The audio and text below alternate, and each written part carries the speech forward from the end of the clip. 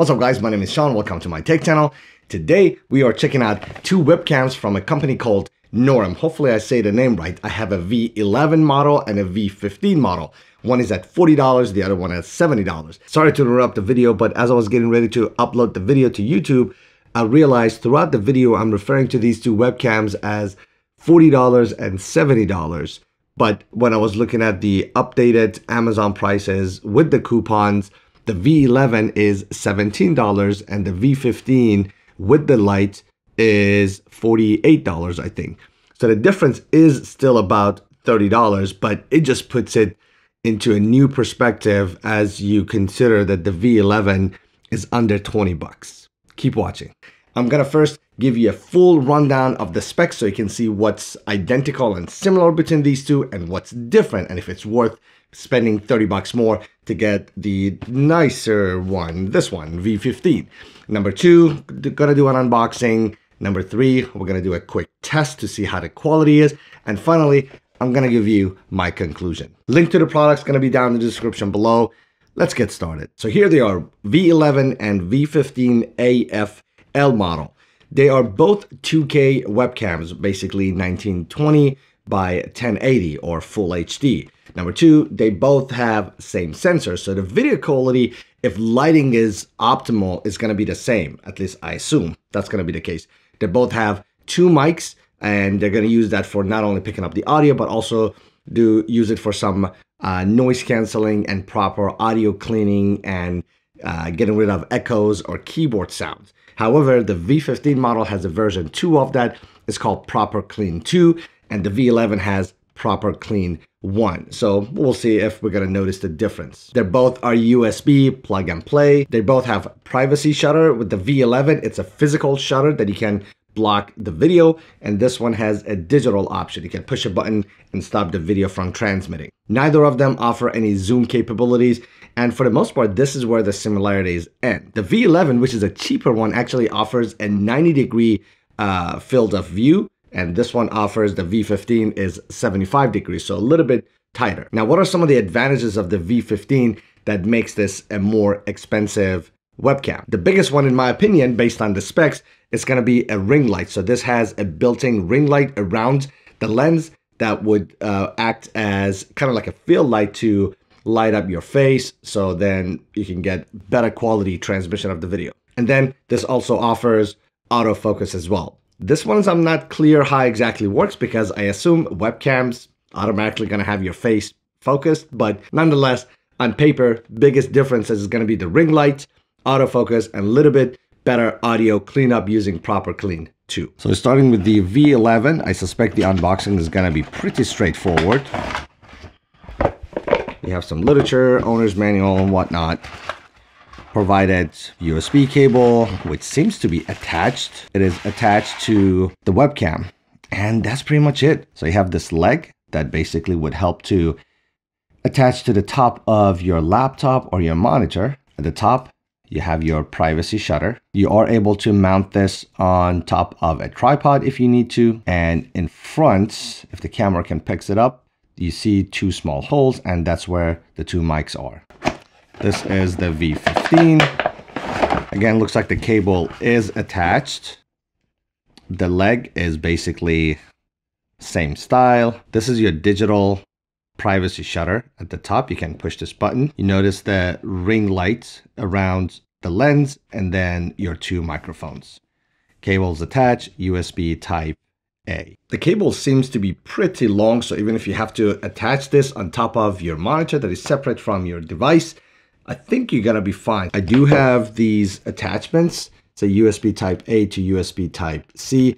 It does not come with the unit. Uh, I'll try to put a link to this one down below. It's very handy if you want to have one around. The way you would mount this, you would just put this at the top like this. And voila. This should be plug and play, does not need any drivers. There you go. So probably this is, I would say, below average level of brightness you may have in your house. I got my blind closed right now.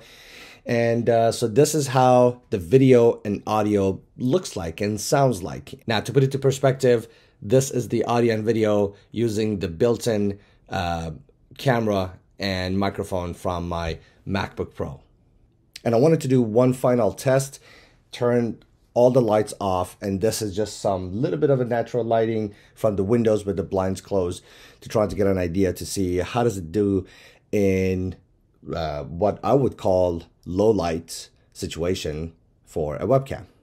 And to put it in comparison, this is the same low light situation using the built-in webcam on my MacBook Pro. As you can see, all this uh, dark background, it gets extremely noisy. Looks like the system's trying to brighten up. So I would say the V11 actually is outperforming the built-in webcam on my Mac. So we're gonna check out the V15 and then I'll give you my final conclusion. But I gotta tell you, so far I am impressed with how the V11 did with all the lights turned off and how it compensated for all the dark spots compared to how my MacBook Pro did. So here's the V15 with all the lights turned off and the light on the webcam itself is not turned on. Looks like you have three different modes. So this is on low, this is on medium, and this is on high. So if you have significant movement, the autofocus seems like it's not fast enough to be able to adjust with that. But when it does adjust, it seems like it the focus is pretty sharp. I mean, I'm looking at all my untrimmed beard uh, hair that you can see right here. I do see right here that the window light is hitting I'm overexposed and it cannot compensate for that. Let me double check to see how it was with the V11. So this is the V11 and I'm actually very impressed with how this does. I don't have the hotspot here on my face that was coming from the window. I don't, the background right here, and this is really dark right now. It's not as noisy as um, my MacBook Pro the focus is really good. I get a little bit of a wider angle. This is this is a tough call between the two. So what's the conclusion? I went back and forth and I used this a lot more than what you saw in the recording. And here's the final conclusion. If you don't necessarily need the extra light that um, the webcam is producing and giving to you, I don't think you need to spend the extra money to get that V15. I was very impressed with the V11, how it got rid of the uh, the noises in the dark areas in the background, how my face was nicely lit, how I was able to avoid having um, hotspot of overexposed area on my face from the window, and the list goes on and on. And I was happy with the audio quality. Now, typically, extra light that always means better quality for most uh, any kind of cameras that has a small sensor. Uh, however, there were a couple things with the V15 uh, that I did not like as much. The uh, the autofocus hunting that every now and then you would feel that pulsation in the screen that looks like was trying to make sure I'm in focus.